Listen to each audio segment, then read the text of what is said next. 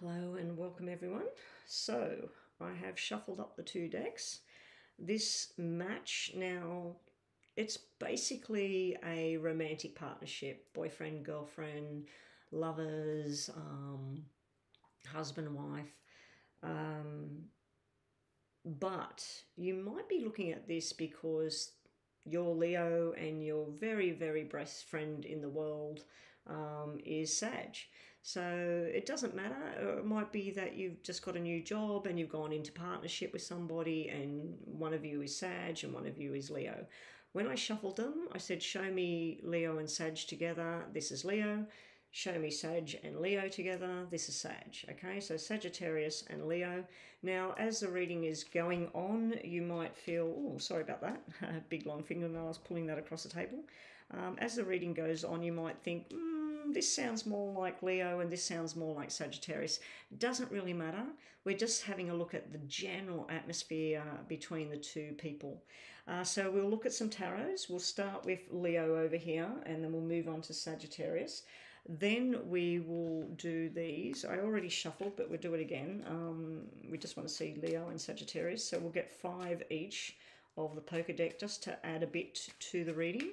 And then lastly, I've already shuffled these, so I won't do them again. Uh, these cards have messages on them. Uh, we'll just cut in the middle. So Secret Admirer is coming out. I think when I was doing one of the other readings, I think it was something to do with Sagittarius and I showed the example Secret Admirer came out. So Sagittarius, there must be someone in the background, the Secret Admirer going on there for you. Um, but yeah, what we'll do is we'll take two from the top for here, two from the top for here, one from the bottom, one from the bottom. Um, now, so when we get to these, if you've got a yes or no question in your mind, just in case it comes out, it might not. So far, it hasn't come out with all the re recordings I've been doing today. Um, now, this reading, um, anyway, so yeah, if yes or no doesn't come out, sorry, I just diverted straight away um, yeah, if yes or no doesn't come out, that's just to give some more messages about the two um, star signs. Now, this Leo Sagittarius reading was a request from somebody, one of my subscribers, um, probably from my live um, recordings. I, am not sure if it was somebody that watched another video and said, Can you do Leo and Sagittarius? Um, or whether it was when I was live. Um, so, yeah, whoever you were that requested this, sorry for the delay, but here we go. We've finally got it on the table. So here we go. Let's start with Leo. We have the Knight of Wands, the Fool, the King of Cups, looking pretty good so far. The Sun, best card in the deck, the Strength, and the Three of Wands, nothing negative sitting on the Leo side of things. Now I'm going to do something a little bit different. Normally I read all of that, what I'm seeing, and then I turn these, but we're going to turn these. Um, so let's have a look. Three of Cups, Three of Cups, Three of Wands, good energy. Hermit, Virgo energy coming out over here. We do have Leo energy here and here. We've got two lots of Leo sitting here. Uh, and we've got fire here, which is Leo again. And then we've got water over here. Ten of Pentacles, beautiful energy. Two of Wands. Five of Swords. Hangman. Uh, now, we will leave that upside down. Hangman up in reverse. Alrighty. Um, so out of the 12 cards in front of me, we have two that are floating, one sort of in the negative zone and one negative card. Okay, so let's get to that in a minute. So starting off with Leo. Leo, you're showing up in your own reading three times. Now, this could mean somebody that's very self-centered. Uh, it can mean somebody that focuses on what your dreams are and what you want. It also can mean that when you're around a Sagittarius, they bring out the best Leo that you can be because there's nothing negative here. If there was negative cards here, I'd think that it might be a yucky sort of side of Leo, but I'm feeling like this is a great Leo Sagittarius combination. I think this works. I, I, really think it works. Now, if you're in a working partnership with this person, it's nothing romantic whatsoever. This is damn good. Uh, Ten of Pentacles and Sun and the strength and working together moving forward. There is some frustration energy here uh, in regards to business or moving forward if you're looking at that kind of partnership, but it looks damn good. And a friendship, this looks pretty damn good.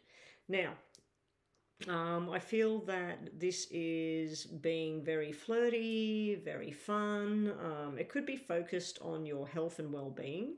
Um, but I think when you're with Sagittarius, there's a lot of flirting going on um, and very a lot of attraction. There's a lot of attraction coming out from the Leo's energy.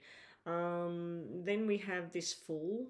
The Fool you can see the fool a couple of ways actually. The fool can be where sometimes Leo doesn't want to make a fool of themselves, but generally speaking, the fool is usually you're ready to go on that new journey. You're ready to hold Sagittarius's hand and say, let's go, let's get this all happening. Um, it can be a fear, a little bit of hesitation, but it's like you're ready. Are they ready though? Because if we look at the cards as they're in line, we have flirting in that, and then we have community and fun, possible third party. But this can be fertility, pregnancy, it can be just community, um, it can be family as well. So we've got flirty, fun energy based, backed up with that.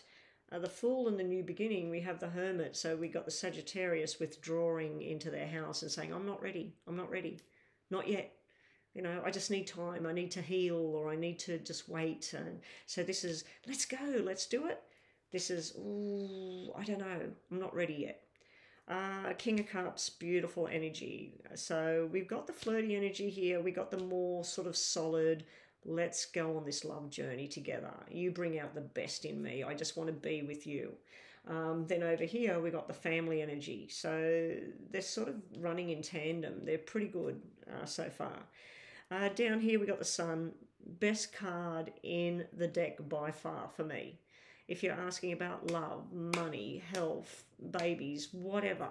Um, this is just yes, yes, yes, good energy, good energy, good energy. Uh, things growing, things shining. Now, again, like I said, you're showing up in your own reading three times, um, Leo. Um, so this would be where possibly if this person's healing here, trying to make a choice here, you'll say, I know what we should do, and you'll take charge. Um, and then we got strength, as I said, this is Leo, uh, Leo symbol in your own reading. Um, I feel that this here is where you're the strong counterpart to Sagittarius. If Sagittarius is not coping with something, stressing about something, you step in and say, I'm here to save the day. Let's go. Let's move forward. And this is picking your journeys, picking what you want to do, and sticking to it. Uh, I feel that with the Three of Wands, it can be a third party interference though. Not, um, well, with the Knight of Wands, it can be a sexual interference, but I'm thinking it's more to do with uh, a mother, a father, an ex, a child. Somebody sometimes might try and sway the Leo to a different direction. Um, but usually, to me, if this is a business plan, a holiday plan, even just going out for the night, um, Leo likes to pick, filter through what they want and then make a firm decision. Um, over here, as I said, we've got sense of community here. This can be sexual and desire. Kind of matches up pretty well with this. This is having fun together, getting to know each other better, uh, getting to know each other's friends and family. Um, it can be fertility.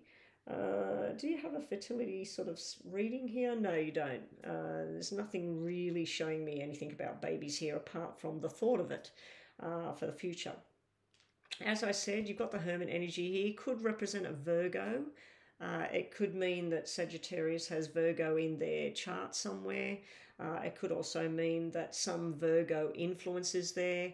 Um, but the Virgo, the Hermit, um, this is where having fun but there's times where they need to, to stop.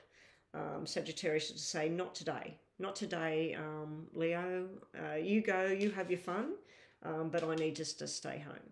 So there's some sort of uh, withdrawal from participating there for Sagittarius. Uh, it can be a hurt feeling as well, that uh, this flirting energy coming off the Leo, uh, that that person doesn't take it too well and they might sort of withdraw and think, mm, I'm not too sure about this. But this here is having a lot of get togethers. Uh, I'm feeling a sense of community here on Sagittarius's side. Um, I'm feeling that you like that, but you also like Leo likes to do their own thing as well. You like to take charge. You like to say, This is where we're going. I don't really want to be with 20 people tonight. I'd rather just me and you go and go out with whoever. Um, but yeah, this is celebration and fun in the sun. It, it's like these two are beautiful. It could mean marriage and commitment, especially with the King of Cups here. Could be a long term commitment thing here. Um, I feel Sagittarius, even though you come up with some plans and you say, hey, let's do this, it's like a really fun, free energy coming off Leo here. This is more of a serious, no, we've got to stay home, we've got to fix the, the carpet, or we've got to go and buy a new radiator. Um, it's like serious kind of energy with more fun and frivolous energy, which is a good match, basically. It's a good match. Uh, this is fun sometimes, but a lot of seriousness here. This is a lot of fun all the time. Um, I also see this uh, where Sagittarius, if there's something emotional going on, they might just say, Oh, I can't handle this anymore. I need to step away. And they might emotionally detach and go and sit in their room or go off for a weekend away and just say, I'm just going away. I just need to think. Um, so I do feel there's going to be times with Sagittarius where they just need a break. Um, this hangman, I left it upside down. Hangman is hanging around waiting for something, waiting for marriage, waiting for children, waiting for that job, waiting for the money. Um, they get frustrated with waiting with this upside down. So with the tarots, do I feel it's a good match or not? If Sagittarius can put up with the flirty, the let's go out, let's change things, let's do something new, um, because this is sort of like someone that's exceptionally happy 24 7, and I'm just not there today sometimes for Sagittarius. Here I am, but here I'm not, you know, and I'm sick of waiting for some sort of change to come in. So I feel that it might not be an exceptionally one of the best matches I've seen. Let's just see what we get with our poker deck. Five cards each, four from the top each, and one from the bottom. Change, change here. Fun energy again. Serious energy over here. Hmm. Not such a great match, um, Leo Sag not such a great match. Uh, this can be truth and lies, uh, hidden, things hidden. Uh, this is where Leo makes a plan, they want to do something, they're going to sign on the dotted line, they come home and use Sagittarius to say, Where'd that car come from? Oh, look, I signed a contract, I bought the car. And you're like, I thought we had to talk about this. so I feel like they may, Leo may make impulsive decisions sometimes and just do their own thing. And sometimes Sagittarius doesn't cope with that. Now, like I said right at the beginning, you might be thinking, no, Leo is this and Sagittarius is that. Uh, so it may be vice versa.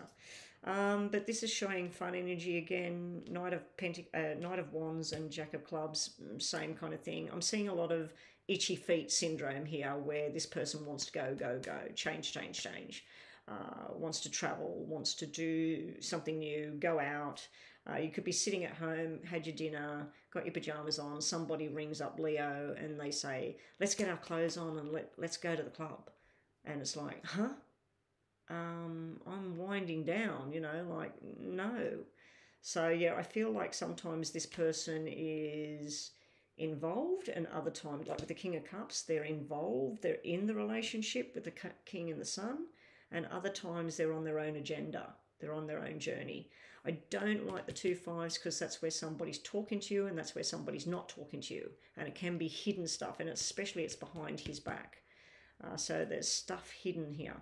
Um, this four can mean getting bored and frustrated at home.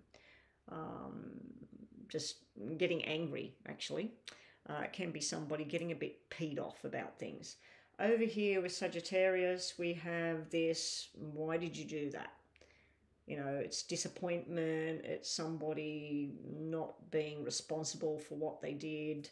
Um, so, yeah, they're not coping too much with irresponsibility in the past or some kind of negative energy in the past that they're looking at.